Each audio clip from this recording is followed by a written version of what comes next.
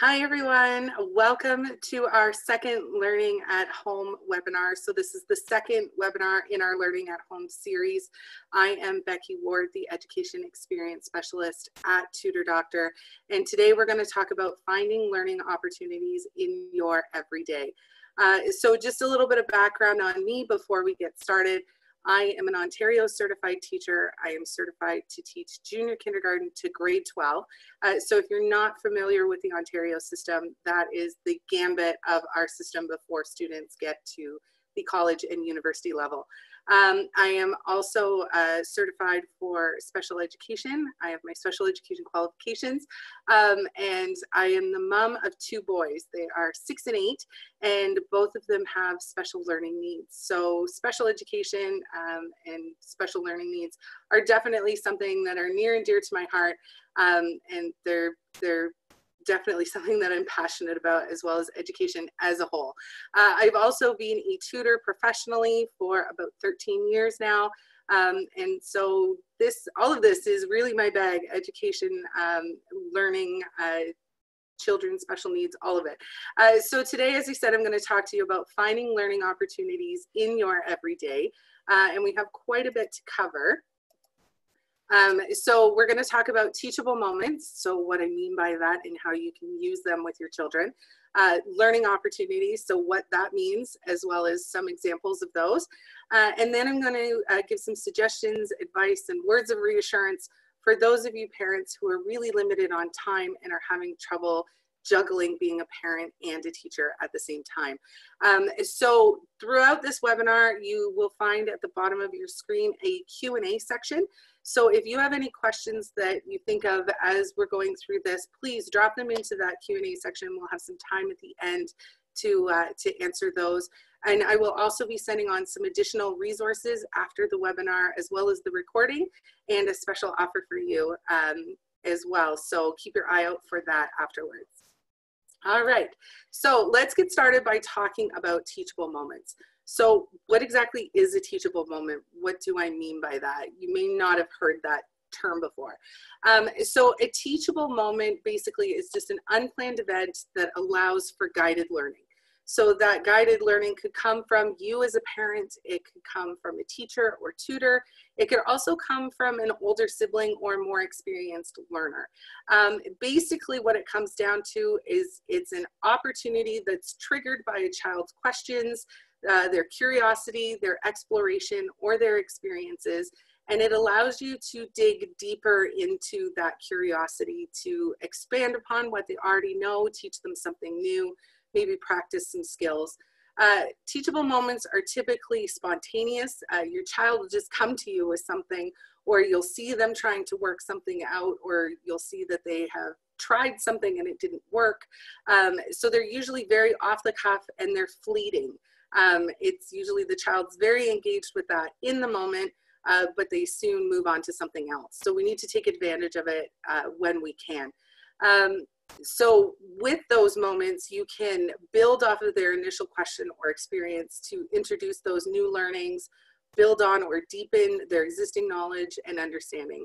Um, and so a great example of this is the current situation has a ton of teachable moments in it. I'm sure we've all had multiple questions from our children about what's going on, why we can't go see our friends, why there's no school, um, and there may be a lot of curiosity surrounding what's going on. So a good example of a teachable moment that came for me yesterday was uh, in the evening after my son had eaten dinner, I sent him to the washroom to wash his hands. I said, go, go wash your hands after you eat. Uh, we're really pushing hand washing here. Uh, and he came back out and he said to me, mom, what's better, washing your washing your hands or using hand sanitizer? And so the initial response to that question would be to answer it directly, which is washing your hands is better. Um, and I know that because uh, the World Health Organization has told me that. And I also uh, have some experience working in a hospital situation where I've had to take hand washing training. Uh, so I do know that but by just answering the question basically i didn't really teach him anything um, so i used it as a teachable moment to dig deeper so we looked at the why why is hand washing better than uh, using hand sanitizer. So we talked about how it helps to break down the virus and wash it away, whereas hand sanitizer, it stays on your, your skin. Um, and so we built on that and we started to look at what are viruses, what are bacteria. So what are we talking about when we talk about germs? Um, good versus bad bacteria. So how some bacteria is really beneficial for us, other bacteria makes us sick how we rid ourselves of bacteria by hand washing or potentially medication if it's needed, if it's made us ill, that kind of thing. So we dug a lot deeper. And I'm not a doctor, so I definitely didn't have all of the answers. So we had the opportunity to then work together to do some research and to look some answers up online and really broaden both of our understandings of this topic. And then we actually had the very beneficial byproduct of being able to talk about what are reliable sources. So uh, BuzzFeed is not a good source of valuable information, especially right now, that we want to be looking at the World Health Organization or the CDC or whatever your local uh, health organization might be. That's where we need to be getting our information from. So it what started off is a very just basic question that you might hear from any eight-year-old turned into the opportunity to really deepen his understanding and learn more about this topic and branch out into even more understanding. Um, and so that's the kind of thing that we're talking about when we're talking about teachable moments. And they are so valuable for our children because they provide context that allows us to introduce and expand this learning. Um, they're able to relate it to things that they already know and are experiencing. Uh, and they're also interested in it in the moment because they've asked you about it. So you're able to build on that curiosity had I just walked up to my son while he was playing Minecraft or doing something different, playing with Lego, and said, Hey, we're going to sit down and have a conversation about washing your hands versus using hand sanitizer, I'm sure you can imagine the response I would have gotten. It would have kind of been like, Yeah, okay, mom, I, I really don't want to talk about this. And he wouldn't have taken in any learning. So by using those teachable moments, we can really engage our children, work on their excitement and their curiosity in order to help them learn and we can help them to become inquiring minds. So people who ask questions and seek out those answers, and we can help them learn how to find those answers for themselves. Um, and it's really helpful because asking questions and getting those answers, that's how we learn and that's how we grow uh, as people and as a society as well. Uh, it is also really helpful for your relationship with your child because it helps them to see that you are somebody that they can come to with questions and that you're going to answer them, start a conversation with them about it. Um, so that's an awesome byproduct of that as well. So when it comes to actually acting on teachable moments, uh, you may be kind of going, well, I, I don't know how to do that. How am I going to do this? Uh, so the big thing is to just be ready for teachable moments and jump on each opportunity. As I said, they're very fleeting, um, especially depending on the age of your child. They may ask a question and then automatically they've, they've already thought of another one. Um, that reminds me of my six-year-old who's kind of 10 million questions a day. Uh, so we want to jump on every opportunity that we have as it presents itself. Uh, you want to answer the questions openly and honestly and really start that dialogue with them. Help them see that you are somebody that they can come to with these questions. You'll help them find an answer and uh, you can learn together, which is always a lot of fun. Uh, and the big thing is to make sure that you're answering the why. So had I just stuck with washing your hands is better than hand sanitizer, we really wouldn't have had the opportunity to do all the learning that we did. So by answering why hand washing is better, uh, we were able to really dig down and branch off into related topics and ideas uh, that my son really engaged with well. So your child may not have questions about hand washing, but it could be anything. Uh, you might see your child out in the yard trying to build a fort, or they're building something with Lego. Um, and you can use those moments to help them and help teach them. So, you know, if they're trying to build a tower from Lego, it keeps falling down that's a great opportunity to talk about how when we're building something, we need a, a large solid base in order to be able to gain height. Uh, if we don't have a solid base, it's just gonna fall over. So that in itself is a teachable moment as well. So the other thing to remember with teachable moments is we don't have all the answers. As I said, I'm not a doctor, I'm not a structural engineer. Um, so if you don't know the answer, just say so. Say, you know what, that's a great question. I'm not sure. Let's look it up together and work together to do that research or bring in somebody who is an expert in that. Uh, so for example, my husband is very mechanically and math driven and I am not. So when my children ask me questions about how the car works, I can't answer. I can tell you I put gas in it, I press the gas pedal and it goes. Uh, so I defer those questions to my husband and I use those as a moment for my husband to teach both of us uh, because it helps my children to see that I am in, engaged in learning just as much as they are, which is always a positive thing to model for them. Um, and then finally, you may not have time to answer these questions or take advantage of these teachable moments right there in the moment. Um, and I get that. I've, I've been in that situation as well. And so the best thing to do for that is to let your child know, hey, I don't have a moment right now to dig into this with you. Let's set some time today after dinner and we're going to look at this.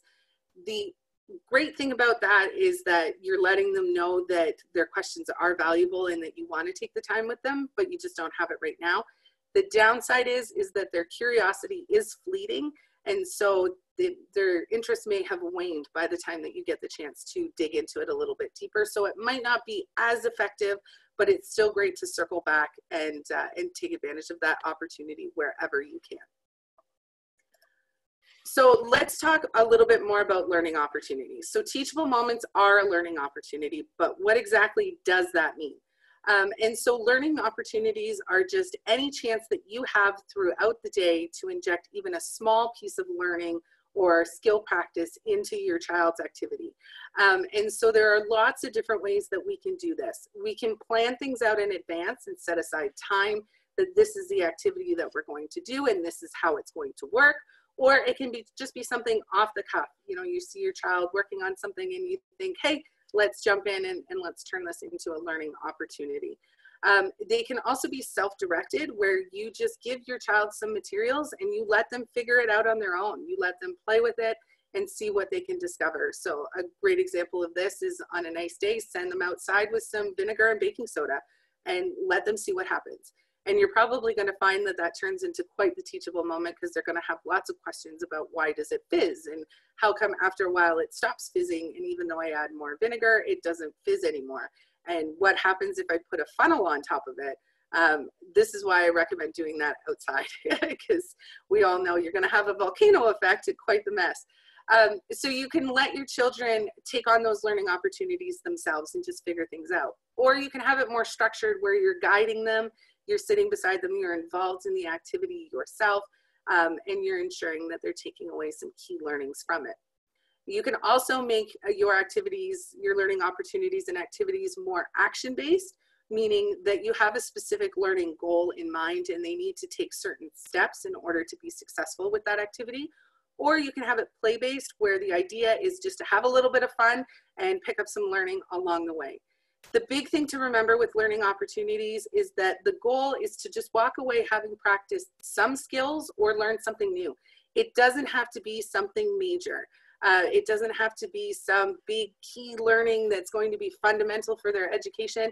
It can just be some practice with multiplication, or it can be learning how to make your Lego tower stand up after it reaches a certain height. It doesn't have to be something that is fundamentally core to their education. It can just be something little. Uh, you can also bring in those key fundamentals as well, uh, but don't stress about it. It's uh, we, the whole goal is just to practice some skills or learn something new. So there are a bunch of different learning opportunities that you come across throughout the day. I'm going to speak specifically to a few. Uh, the first one is traditional activities. So these are what we typically think about when we think about learning activities for our kids. These are what uh, the school may have sent home to work on right now at home. Uh, these are the kind of things that we think, oh, my child needs a little bit more help. I'm going to find them this kind of stuff. Um, and so these are typically things like worksheets, um, online games where they're practicing those skills, things like science experiments where they have to follow a specific procedure to get a specific result and reflect on that. They tend to be really structured um, and there's a certain way that they need to be completed. Uh, they tend to be planned in that uh, the, the steps are very planned out and it's rather rigid in that.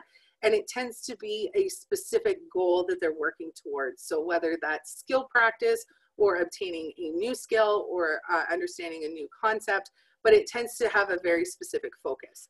So I did give some suggestions for resources for these kind of activities on the last webinar, and I've got a few more for you. These are resources that I use with my own children as well as in tutoring sessions. I will send them along afterwards, so please don't worry about uh, trying to get these links written down. We'll send them out with the recording. Um, so the first one is K to 12 Reader. So this is a really great resource for worksheets. Um, so it focuses on children who are in kindergarten to grade 12 and it's reading, spelling, grammar, vocabulary, composition worksheets, uh, anything basically to do with English and your reading and writing skills. You can find something for it on K to 12 Reader. Now it is focused more towards American students, but the thing to remember with these kind of resources is that we can use them no matter where we are. So I'm in Canada, I still use them for, for my own children um, because a reading composition worksheet or um, comprehension, sorry, worksheet, it's pretty standard across wherever you are. The only thing that may be different is spelling. So even if you're not in the US, I recommend checking it out, seeing if there are some things that you can use for your own children. Uh, the next one that I absolutely love is Prodigy. So you may have heard of Prodigy before. It's an online math game and my eight-year-old loves it. Uh, he wakes up at seven o'clock every morning and comes running in going, can I play Prodigy? And I'm going, hey, I haven't had coffee, let me wake up. Holy moly. Um, Prodigy is so much fun for them. And if your child is into those online math games or that style of play, uh, they'll probably find it really engaging. Um, they use it through my son's school, and I think last time I checked on their website, it said something like 50 million students and teachers use the, the platform. Um, and it is accessible in multiple countries. Uh, you just have to change your country when you access it. And it's 100% free, which I absolutely love. And I get little emails every once in a while letting me know what my son has been working on and how well he's doing with that. So I highly recommend Prodigy as well. The next one, which I actually stumbled upon recently, but it has made my list of favorites, is TED Ed. And so this is a site where you can build a lesson around any TED Talk or TED Ed resource. Uh, and it's really cool. There's a bunch of existing lessons on there that you can use with your child if you're not comfortable making your own. Um, I spent a lot of time digging into this with my son, probably more than I actually had time for. Uh, and we spent some time learning about ancient Greece and all kinds of different things. Basically, if you can think of it, there's a TED Talk for it, and chances are there's a TED Ed resource as well. And then the last one is Teachit. So this one is geared more towards the UK, but as I said, uh, it can easily be adapted to other countries. Two plus two is four no matter where you are. Um, so you can definitely use these resources no matter what country you're in. Now Teachit is really neat because it has a bunch of subsites. So I've given you the link here to Teachit Maths, uh, but I will put in the resource that I email out the links to the other Teachit sites as well. There's one for primary, for English, uh, history, geography, science, languages. Uh, and it's a great source for resources and, or sorry, worksheets and those traditional learning activities as well.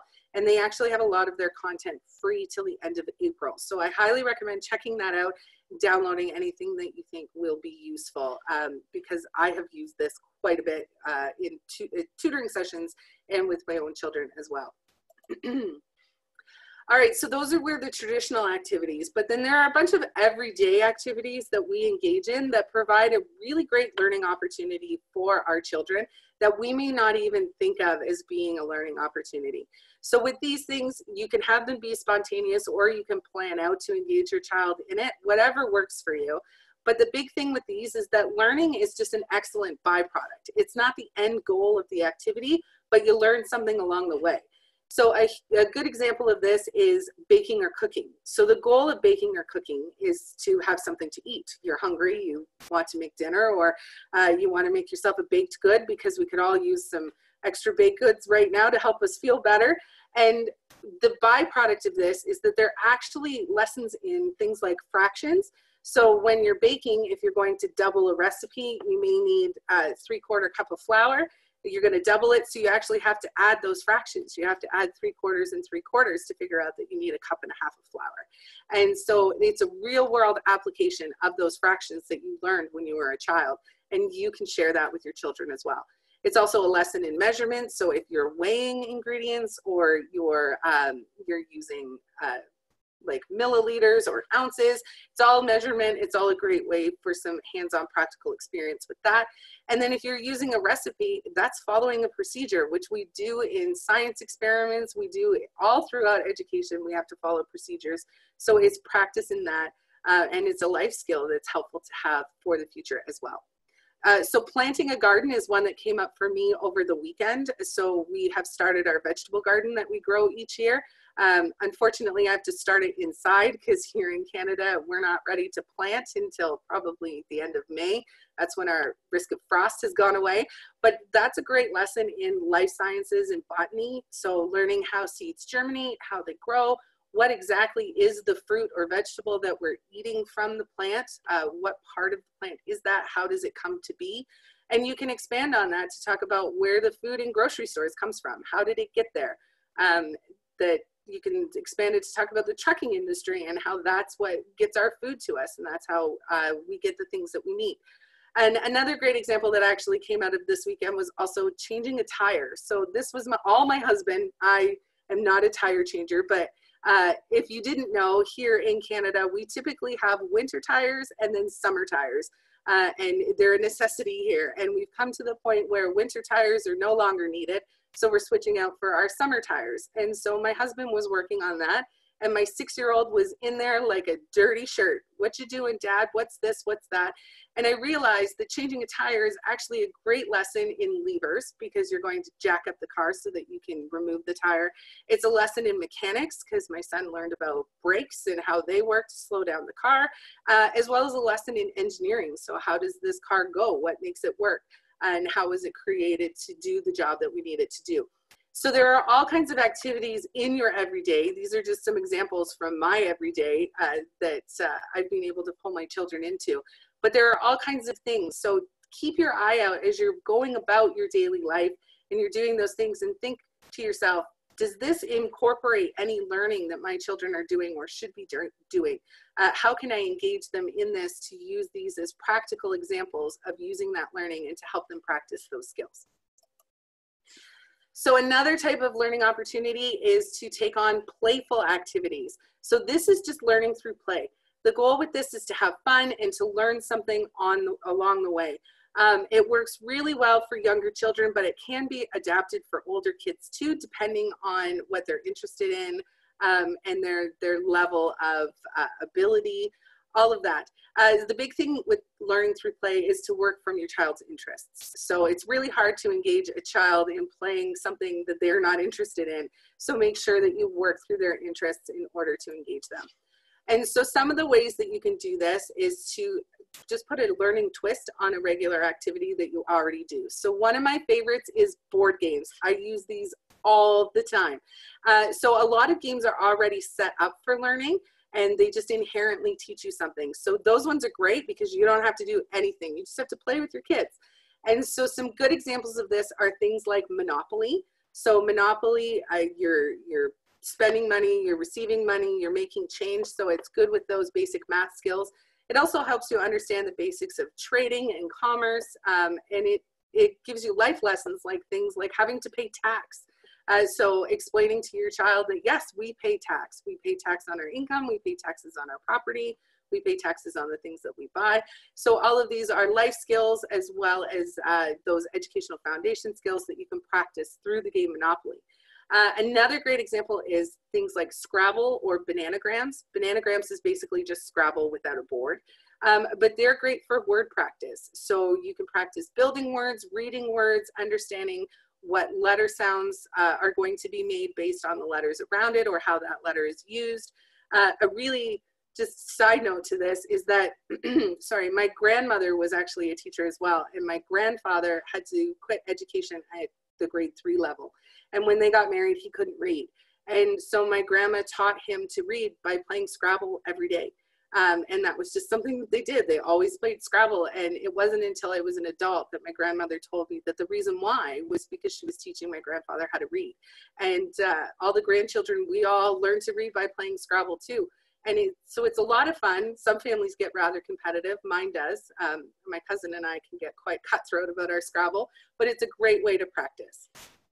Um, and then so the other suggestion I have for those resources or for those games that allow you to uh, that allow you to uh, practice some of those basic skills just from the game itself is the game Payday. So this was one I used to play as a kid.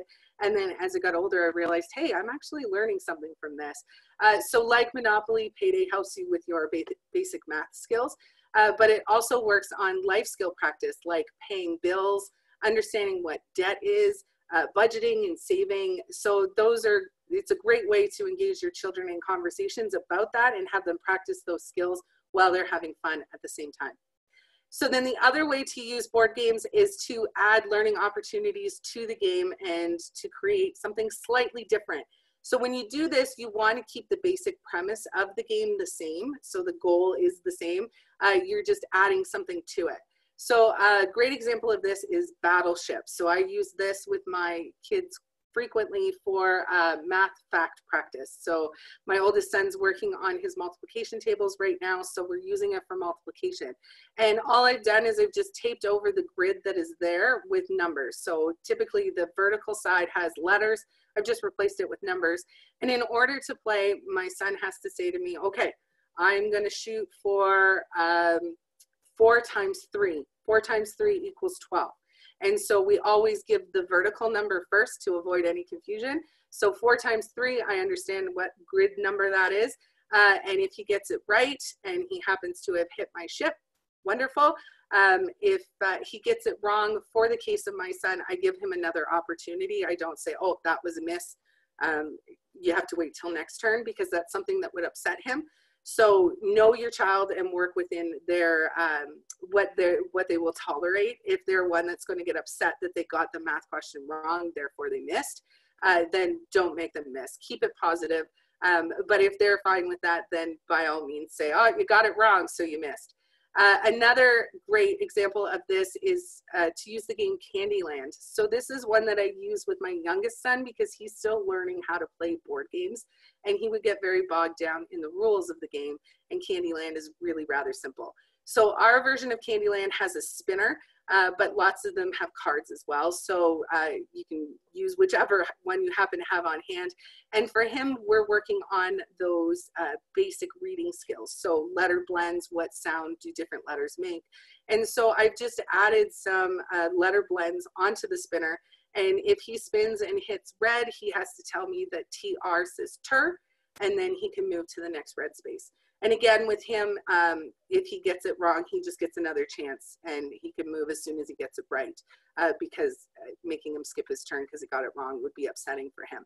Uh, so you can do this with anything. You can add in uh, math questions, you can add in um, just fact questions, you can use letter sounds, you can use sight words, but kids really engage well with this and it's a fun way to practice those skills.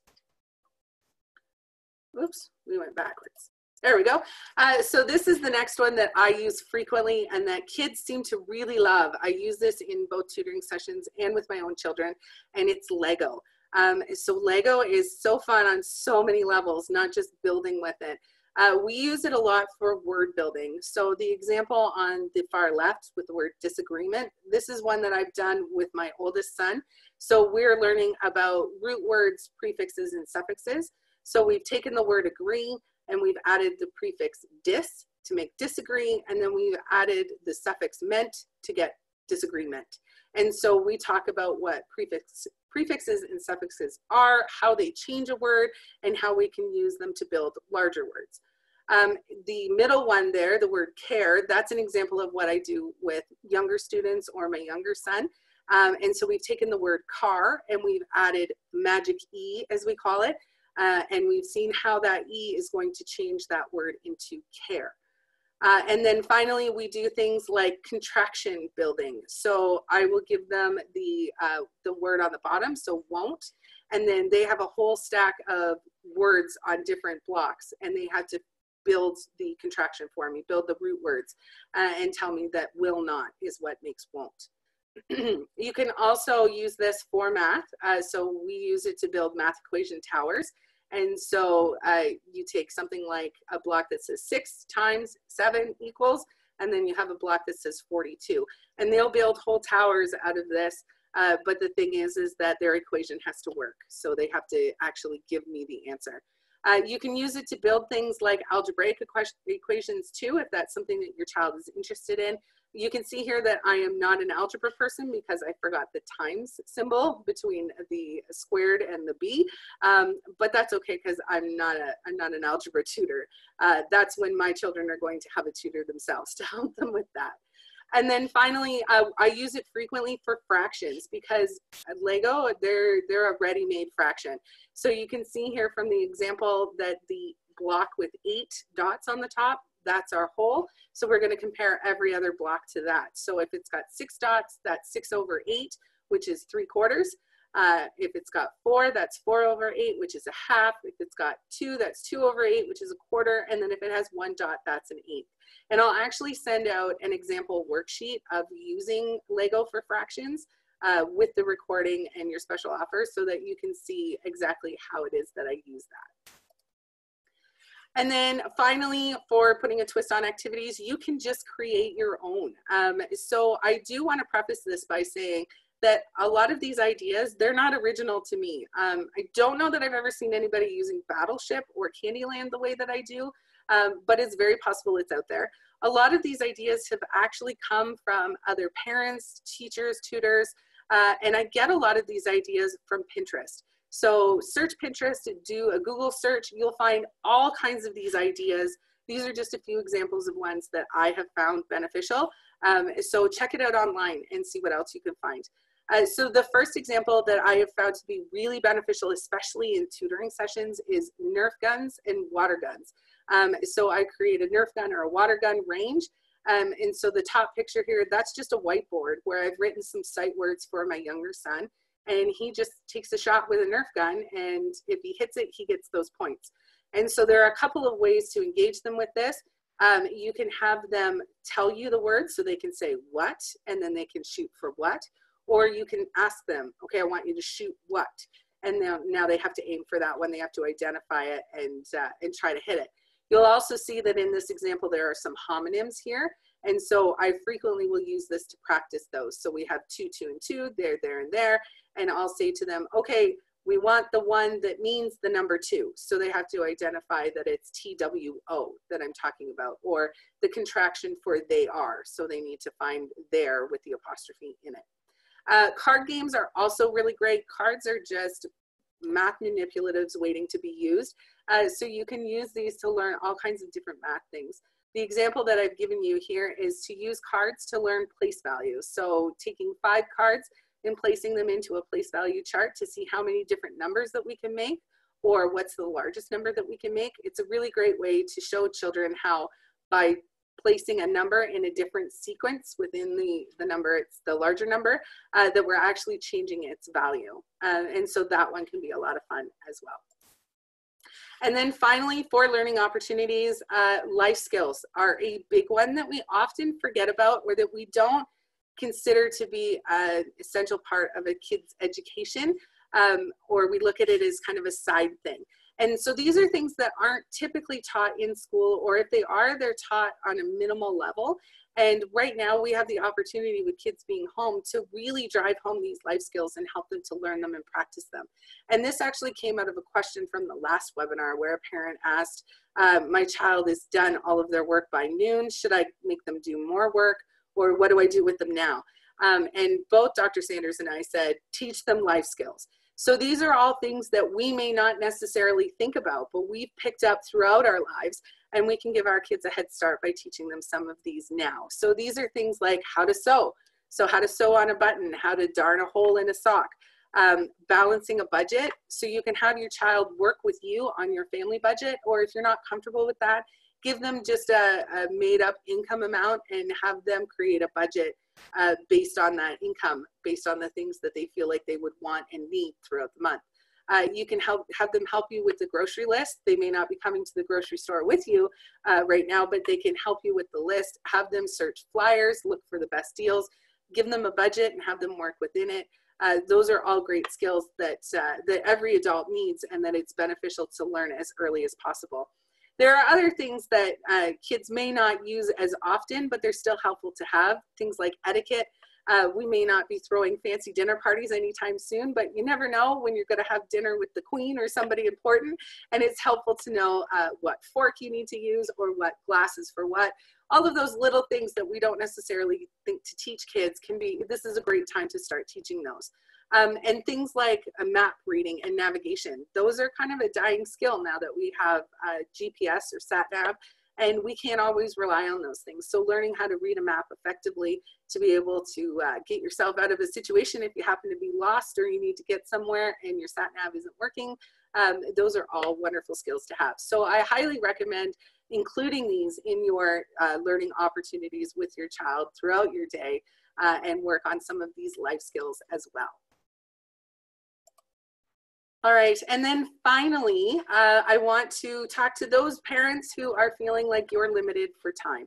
So these may be the parents uh, who are working full time still, or uh, they just don't have the time to engage their children with all of this throughout the day, or maybe you're just struggling with being both parent and teacher. Um, so the first thing I want to tell you is that you're not alone. I am in that boat as well. And so I'm giving you all of these great ideas that I do do with my children but it's hard right now. It's hard to fit that in. They're home all day. I'm working, uh, and it's it can be a struggle to juggle everything right now. And so I just want to remind you all: don't worry, don't stress about this. We have enough stress on our plate right now. We don't need to add to it. Um, if you can inject a little bit of learning into your child's day each day, then you're way ahead of the game. You're doing a great job. So please don't worry and don't stress about this. Um, just interject the little fun things when you can. Maybe ramp it up a little bit more on the weekend if you have time. But uh, your, your main focus should be just let's all get through this in one piece. Um, and we're all in this together. We're all struggling. We're all trying to figure it out together. So please don't be hard on yourself um, and don't worry. And so the big thing to remember when it comes to all of this is number one, do what works for your family. Um, there are a ton of things out there, lots of uh, suggested schedules throughout the day, lots of different activities that you can do with your kids, even the things that I've talked about on this webinar. The important thing to remember is that we can't all do it all and not everything's going to work for us. So find what works for you. Um, and to be completely honest, those parents who are posting all of their great daily schedules, all the things that their kids are going to do today, there's a really good chance that after that picture was taken and posted, that schedule went out the window. Um, we need to be realistic about our expectations for ourselves and for our children right now. Uh, because we're all struggling with this new normal and we're all trying to figure out what works. So just if it works, do it. If it doesn't work, get rid of it. Uh, don't spend time stressing on it. So you'll see that all of the suggestions that I've got below all have or don't next to them because if it's not going to work for you, don't do it. Um, so if your family is the type that works really well with, uh, with scheduling and with a set routine throughout the day, then by all means create a schedule for yourselves and your children if that's what's going to work for you. Uh, a great thing to do with this is to involve your children in the scheduling process. So sit down each evening and create the next day's schedule together. This gives your children some ownership over the schedule. It helps them to um, to engage with it better because they feel like they have helped create it. It's things that they know they need to do, that they want to do. Um, and so it tends to just work better if you involve them in it than if you say, this is what you are going to do uh, you tend to have more pushback if you don't include them. So if it works for you, set yourself a schedule and follow it. If you are the type of family like mine, where you tend to fly by the seat of your pants and you just take things as they come, uh, then you may, uh, your, you and your children may do better if you plan more self-directed activities and learning, where uh, you can just give them something, allow them to explore it on their own, allow them to work through it on your own, their own, and just bring any questions that they have to you that you can address here and there as opposed to guiding them through it because you do still have work commitments or other things that you need to be focused on as well. Um, creating checklists also is really helpful for this. So this picture here is actually an example from the checklist that my family has been using each day. And again, this is what works for us. It may not work for you. Uh, it's worth a shot. If it doesn't work, then throw it out. Let's find something different.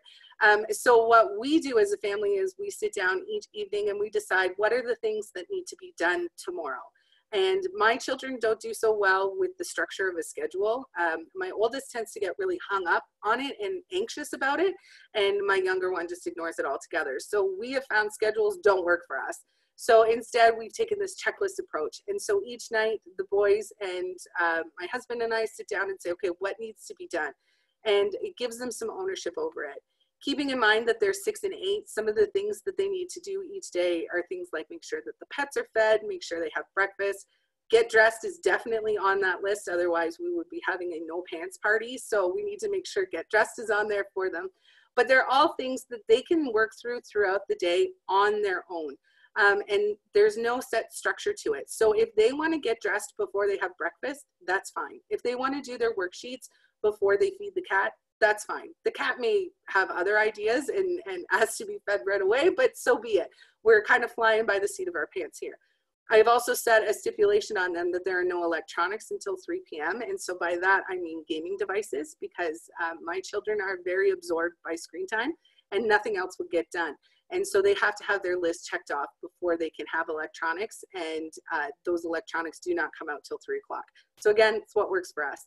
And to combat the I'm bored, uh, so coming down uh, downstairs to bother me and say, Mom, I'm bored, I don't know what to do, we've created a, Are You Bored list. So these are all things that the boys have suggested that they could do to combat that boredom. Uh, and so far it's been really effective for us. So if you want to adopt that, please by all means, um, and don't forget, do what works for you. Um, and if that means that your kids are not doing two hours of learning each day, that's fine. Uh, we're focused right now on getting through. So if that means that they just do a little bit, that's fine too. We just want a little bit of learning each day, even if that means they just read for half an hour. Um, and then so finally, if you are still feeling really stressed out about this and you are not sure how you're going to make this work, you're struggling as being both parent and teacher, or your child is working on things and you just don't know how, how to help, it may be time to consider a tutor. Um, the big thing to remember is that tutors are not just the people who can teach your children something. They can also help your children structure their day. They can be that accountability coach. You can have a half an hour session with a tutor each day where the tutor checks in to see how your child is doing with the work that's being sent home from school. They can be the one to give those reminders and help to motivate your child, and they can answer those one-off questions that come up as well. So uh, tutoring is more than just those basic skill foundations uh, like reading and math. Uh, they can do a lot more. So if you're finding yourself stressed out, please uh, reach out, consider a tutor. Um, as I said, there'll be a special offer at the end of this for you. All right, so that's it for me. That's it for finding uh, learning opportunities in your everyday. I see that there are some questions. So if you have any questions that you forgot to throw in, please pop them in now um, and we'll take a look at those quickly. Okay, uh, so can computer consoles and games be used to encourage learning? So absolutely. Um, so it really does depend on your child. So as I've said, my boys in particular are very absorbed by screen time. And uh, my youngest in particular can can get rather distracted and it actually might not be a great learning tool for him. So the big thing with this is to know your child um, and to monitor it and so just to make sure that learning is actually happening. We haven't uh, wandered off into the weeds somewhere and now we're watching YouTube videos of kids opening kinder eggs or whatever it might be. Um, so if that is something that works for your child absolutely. Get them on onto games like prodigy or um, or those other learning games. There are things out there like your your basic for entertainment games that you could potentially um, use as a learning game. I think maybe that's what you're actually uh, aiming towards. Um, things like Minecraft and stuff, you could potentially uh, work that into a learning game. Uh, depending on the needs of your child. But I'm not super familiar with all of the for entertainment games that are out there. Um, but if you see one that your child is interested in and you can see how you can put a learning twist on it, by all means, go for it. Um, so the next one is, can you make house chores into a game? Uh, is it good to use money as rewards? So yes, you can absolutely, sorry, absolutely make household chores into a game.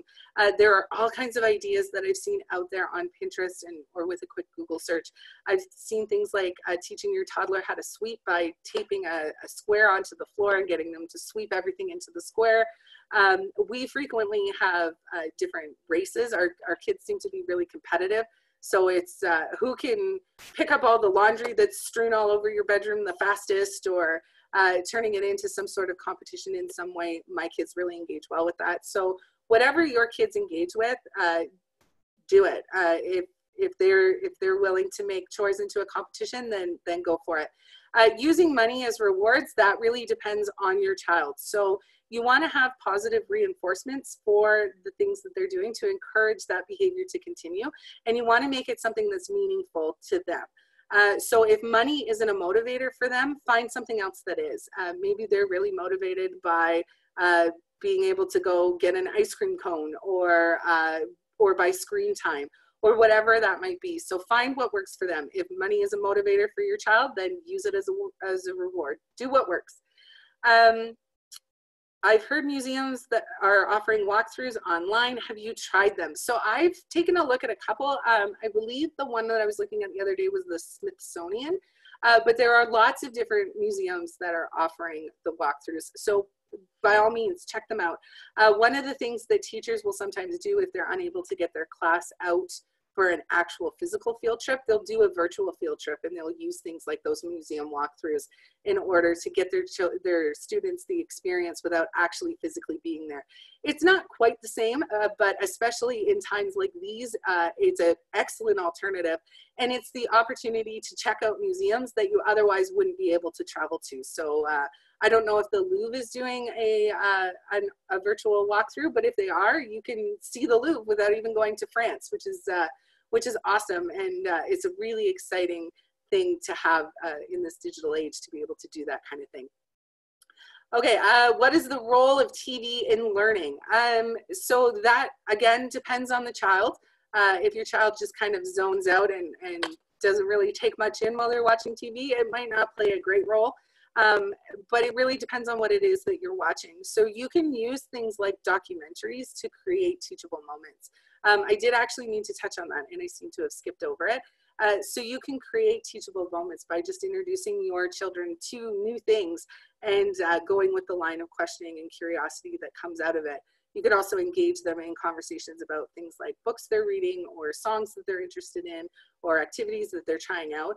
Um, so when it comes to TV, throw on a documentary, sit down and watch it as a family and roll with those uh, those learning opportunities and teachable moments that come out of it. Um, there are a lot of TV programs that are directed to teaching children. Um, they tend to be a little bit lower level, um, but there are still great things like the NOVA programs. Um, I'll put a link to that in the resources that, uh, that I give out. I'm just gonna make a note of that, NOVA. Um, and so NOVA is a science-based uh, TV program that has a lot of really great content. I remember watching one from when I was about 15 on uh, quantum mechanics, and I still remember that. It stuck with me for some reason. Um, okay. Uh, thank you for helping parents keep it real. Absolutely. It's important to keep the stress low. Happy parents, happy children. I could not agree with you more. Um, we really need to remember that right now it's all about let's get through this. We need to be realistic in our expectations of our children and of ourselves. We can't do everything. Uh, so we need to take it one day at a time. We're all in this together and we'll get through it.